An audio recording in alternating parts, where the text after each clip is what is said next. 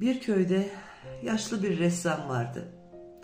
Olağanüstü resimler yapar, bunları da çok iyi fiyata satardı. Bir gün köyün fakiri yaşlı ressama, ''Senin durumun çok iyi, niye fakirlere yardım etmiyorsun? Bak fırıncı ara ara bedava ekmek veriyor, kasap da ara ara bedava et veriyor, sen niye bir şey yapmıyorsun?'' dedi. Ressam sadece gülümsedi. Sonraki günlerde fakir köyde ressamın aleyhinde konuşmaya başladı.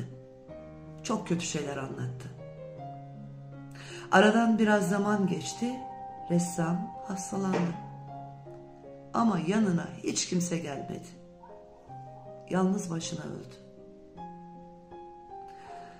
Birkaç gün sonra fırıncı bedava ekmek vermeyi, kasap bedava et vermeyi kesti. Neden diye sordular.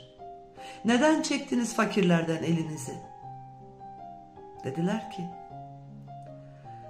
o merhum ressam var ya, bize para verirdi.